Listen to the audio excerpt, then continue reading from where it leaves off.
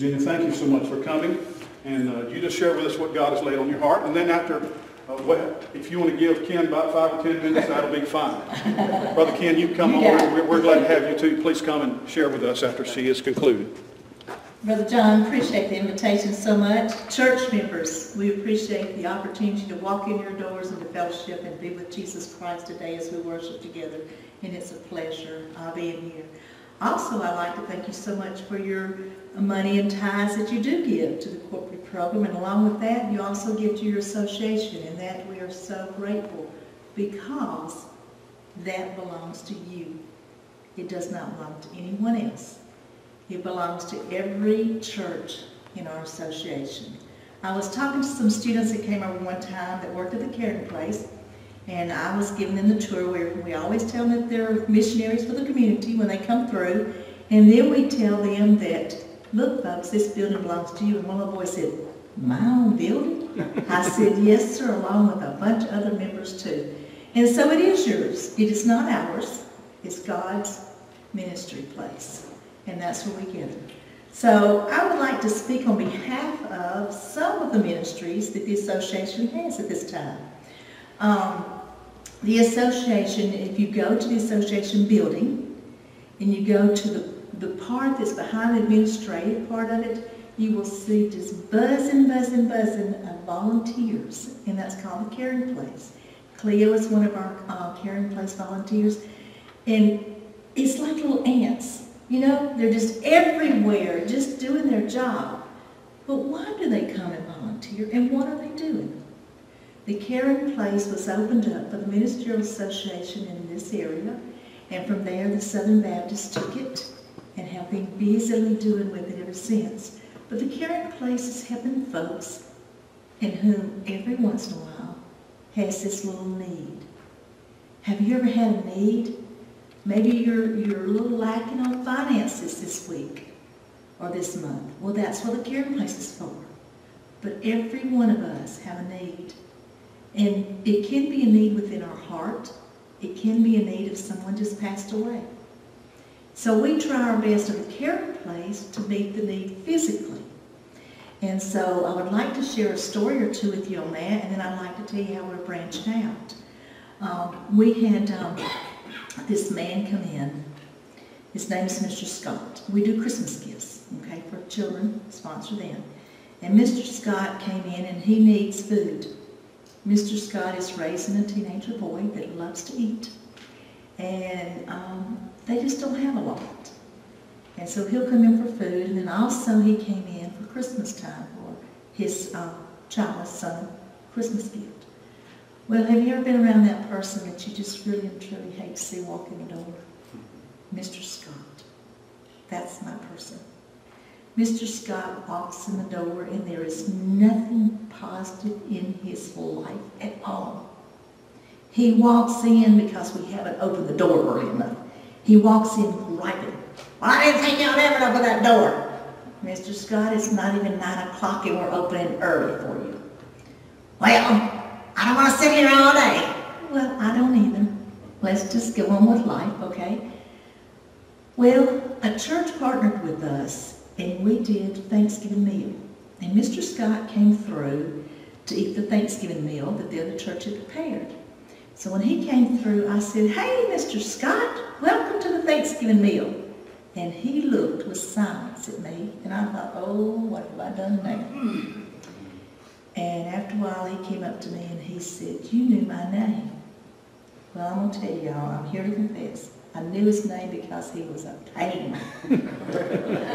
okay? I didn't know his name because he was that quiet little innocent person comes in here and thanks us for the food that we. I don't think he's ever thanked us for the food. It's like, he didn't give me enough, or, you know, I don't eat green beans, you know, stuff like that. He said, you knew my name. And I thought, Thank you, Lord, because I probably would never know Mr. Scott's name if he had not been a pain. You know, it's amazing how God ticks on earth while he's preparing things for heaven for later on.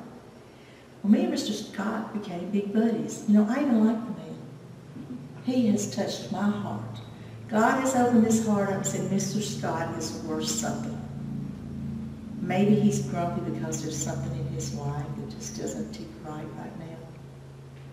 So I got asking his neighborhood because I, I know his neighborhood.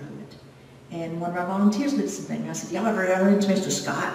And they said, oh yeah, they're Mr. Scott, you know? But you know, aren't you glad that you guys have an association that has a caring place that can reach out to Mr. Scott?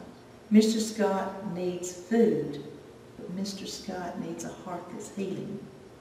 And I bet you everybody in this room right here knows what he really needs. He needs mine and your Lord. Well, due to that fact, along with Mr. Scott and some others, a Bible study was started two weeks ago for the clients and anyone else that wants to come. Some are volunteers, Cleo goes to it, they're welcome. It doesn't matter if you, it's a client or not, but we're trying to give our clients an opportunity because they come in, get the food, we pray with them, ask them what their needs are, and they're out the back door. And that's how we see them, okay? So now we're going to build relationships. Is that not what Jesus Christ did? Did Jesus Christ not build relationships? I bet he built relationships with each one of us before we were saved, through our Sunday school teacher, through our best friend, through somebody at work, before we ever said, I want that Lord that you got. So that's what we're trying to do. So we started a Bible study. Cleo's participating, Kim participated. We have two men, pastors in our association, we're going to rotate and do the Bible study. Folks, what amazement there was. It was really good. And I did not know what to expect, but you're my Christ did. He knew exactly what was going to take place. Do you know, since that day, we have had three phone calls. I missed last time, but I'm coming this time.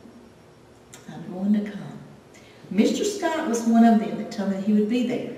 And when Cleo and I called around for everybody to sign up, he said, no, you're not starting this Thursday. I can't make this Thursday.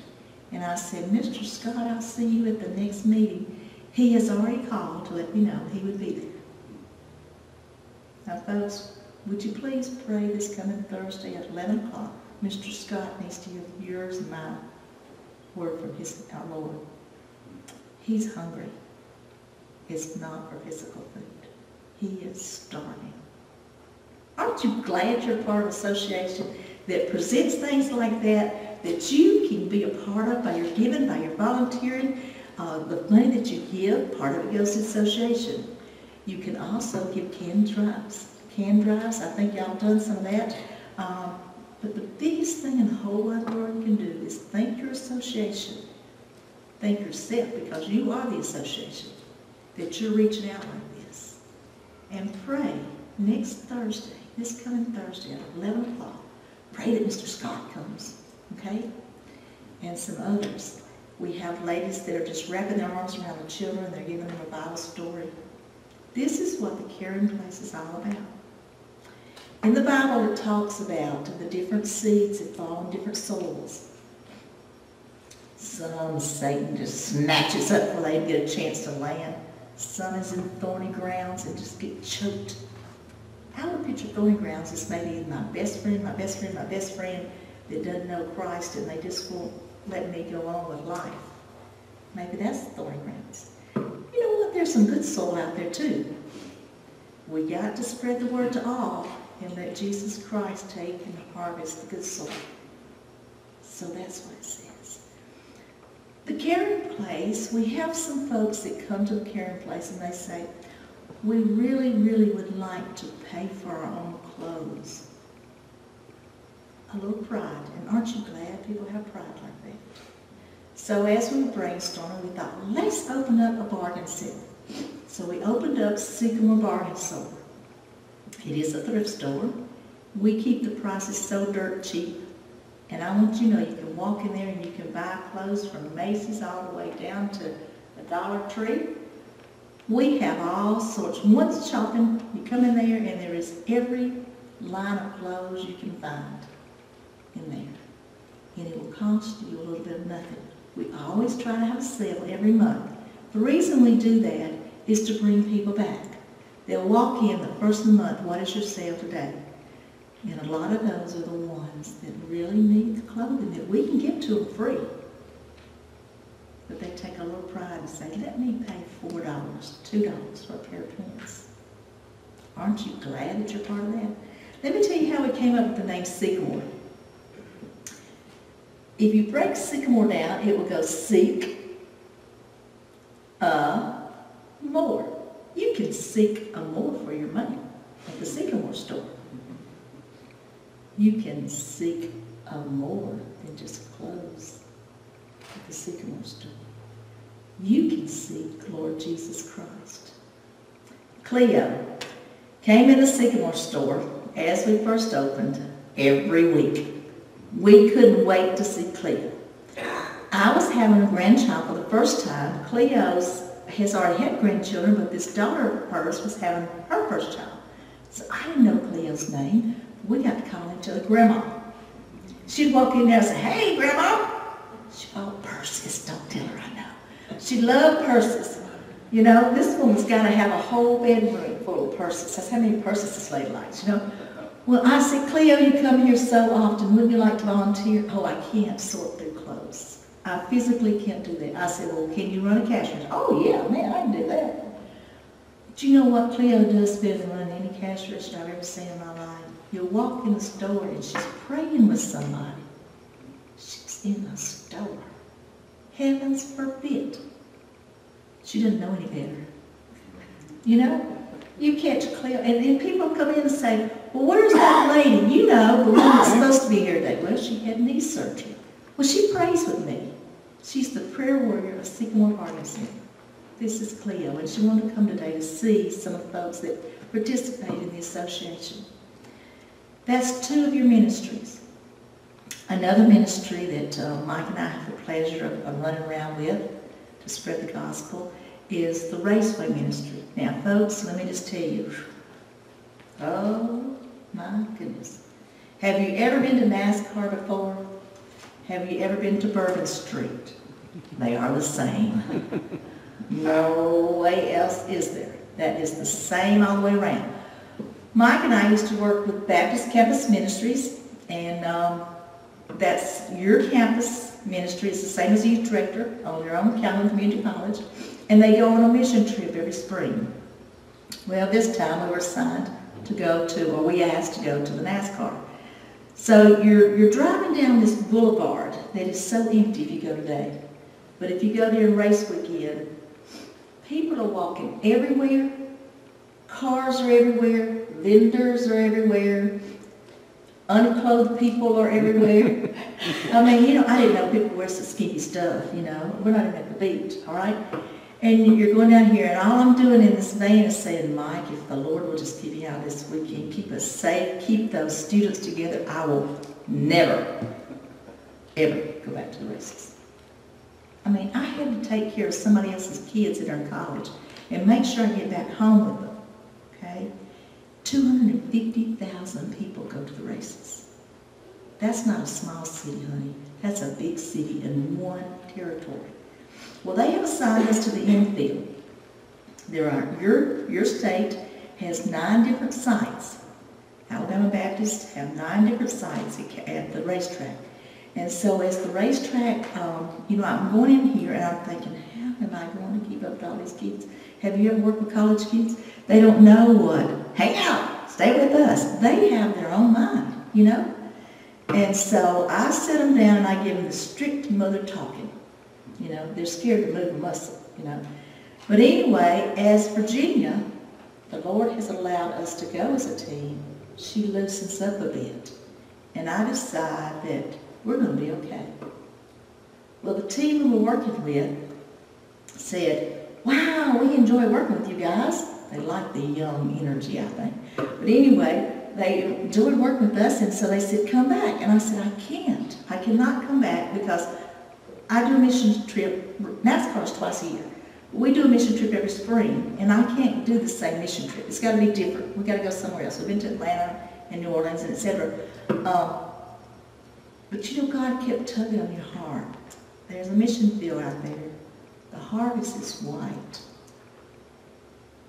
Okay? So we get back, and, and I present that to the powers to be, and, and they said, oh, well, let's just spin off and do another ministry. Wow, y'all already spent off, you didn't know you had the first ministry. Aren't you good? So anyway, uh, we spin off and we start the Raceway Ministry. Twelve years ago, twice a year, we have been to NASCAR. Salvations have taken place. Ooh, some of that seed fell on good ground. But you know, most of the time we're there, we're planting the seed that Jesus Christ has asked us to plant. We don't see the harvest. We've been very fortunate to see some of the harvest where somebody else has planted. Aren't you glad God has a stepping stone?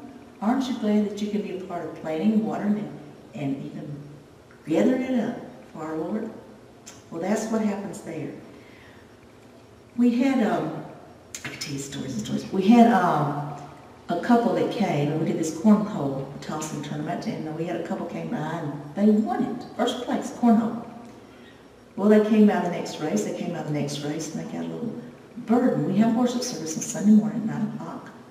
And so um, he came, Claude came, but his daughter and his wife didn't come to worship service. So I said, Claude, where's your wife and daughter? They're still sleeping, I can't get them up. But he said, I couldn't sleep last night. Well, I'm going, I bet you I know why. You know, he said, and I couldn't wait to come over here and be with you guys. Folks, Claude is saved, not something we did, something Christ did. Claude's wife saved, Claude's daughter saved, and they have joined our team. They meet us at Shocco. We stay at Shocco. And they go, they gave up their camping site, and they gave up all the party things that they loved. And now they go and be with us and share Christ. Wow. God placed your ministries in the right place. If you ever meet Claude, he's the most backwoods. I mean, he lives in um, Mississippi. But if you can picture going up to Tennessee to the very tip of the mountain and you find some little neighbor's family up there that lives up there on, off the grid, Claude would fit right in. You know, he's just that kind of person. Claude's going to be in heaven when he dies.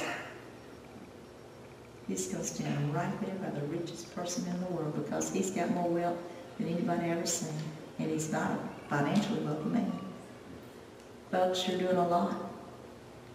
Um, then there's Baptist Campus Ministries I was telling you about, where the students are on Calhoun, and Willie Alexander conducts them, and wow, what energy and they have, and you will not believe how many people come out of there, not because of what Willie does, because of what God does.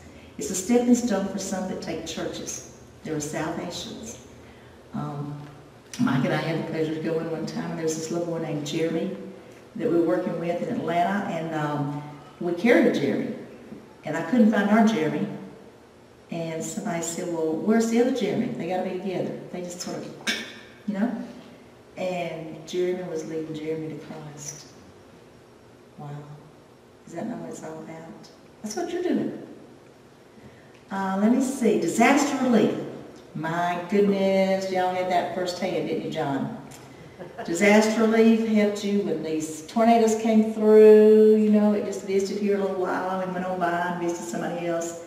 Your disaster relief team has a heart of the ministry to help when things are gone sour. Mother Nature has taken its course, and after Mother Nature, man nature has to come on in and take care of it.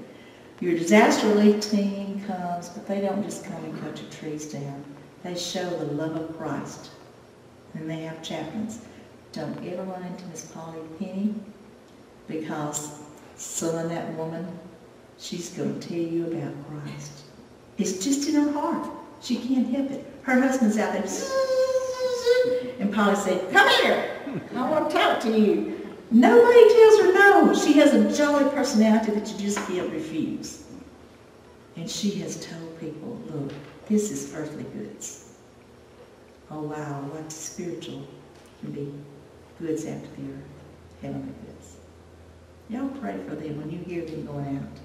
They have long, long, long days that they work. Literacy. I was looking at Mike, trying to figure out which one I uh, didn't talk about. Literacy. Wow. There is literacy for adults, there's literacy for children, But there's also literacy for English second language. And, it, our biggest, we have several, our biggest is House at Central Park. It is your ministry. Um, a lot of Japanese, can you believe it? You're thinking Hispanics, aren't you? A lot of Japanese because of our plants and our companies in that area. The wives are in the English second language and the husbands are working. Debbie Perkins was over there and she can tell you story after story after story about how they hunger for something and she knows what it is. And they go back. Several have been saved here in the U.S. soil. And then the companies will send their husbands back home and they'll go back home. But they're going back home with Jesus Christ, either in their heart or a knowledge of Jesus Christ. Because Christ picked that family to come here and work on our souls. You just never know.